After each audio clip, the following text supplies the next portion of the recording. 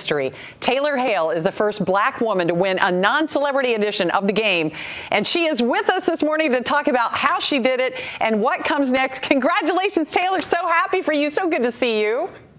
Thanks so much, Sheila. It's an absolute pleasure. I feel like I'm getting so much of you this year, and I will never complain about it. So Aww, it has been absolutely That's so sweet. Yeah, for people who don't know, I host the Miss Michigan USA pageant, and Taylor was crowned uh, in 2021, right? It was, yes. That's right. Well, let's start with the show, though, Big Brother. You told Entertainment Weekly, I just read this, that your brain had exploded after you found out you won. How are you feeling now after you after you've known about it a little bit longer?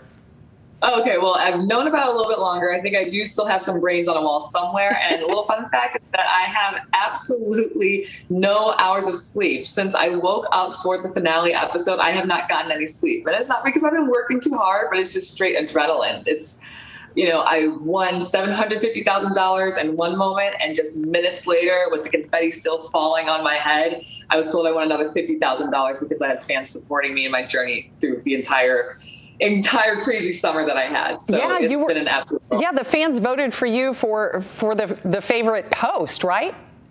Yeah, yeah. How did that favorite feel? host. Yes. You know, when you're in that Big Brother house, you are completely removed from your friends, your family, any source of communication, unless you win power in the game.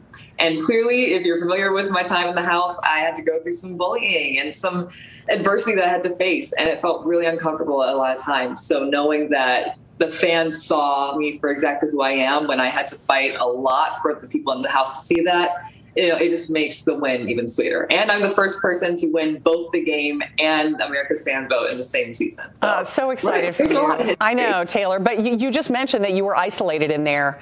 So what did it take to get through that bullying? Give me some uh, insight into you, what it is in you that made you persevere.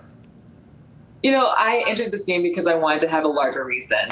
And it's funny, the day that I won the game was actually 20 years to the day of another black woman who was sitting final two and did not win. And now that I'm the first black woman to actually win the game, it's just this incredible full circle moment for all the women like me who have played the game. And when it has been really hard, I just remember that I was the one to be so willing to bear that burden so that other people can play this game who look like me, other women can play this game and not feel like they have to carry the weight of being a woman in the game, carry the weight of being a woman of color or a person of color in the game. They can just play the game as they want to. So oh. I always knew I had a bigger purpose. Yeah, that's great. And and you've al- you've already been a, a role model as Miss Michigan USA and and a title holder, but but do you have a message? Uh, for people about resilience and about overcoming their challenges and, and moving on?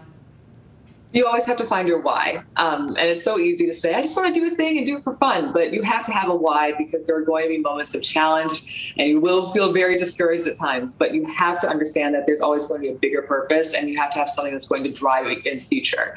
That can be inspiration not only for yourself, as I needed in the game, a big brother, but it can also be an inspiration for other people, which I have done in this game. And clearly, I've also inspired people to be pretty invested in some potato chips as well. So, you know, I'm working on a Super Bowl commercial I'm trying to get in contact with Lay's and see if we can make that happen. Okay, Lay's, make that happen. But Taylor, you won almost a million dollars. What is next besides the Super Bowl commercial? I'll find a really good accountant and figure out taxes first. But then I do want to donate some of the money to a women's organization that will help women who have been abused or coerced or harassed. I want to make sure that women know what to do in a situation like that. Um, so I always want to make sure that those organizations are well funded. And then I just want to do some kind of boring things. I want to buy a house. I want to get a dog. I want to get a nice car. And from there, just make sure that my money is working for me. I want to be smart with it.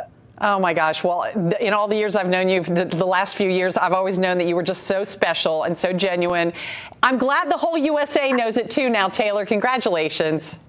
Thank you, Sheila. It's awesome. Awesome. I love you so much. Love you too. And I'll see you soon. And we'll be right back.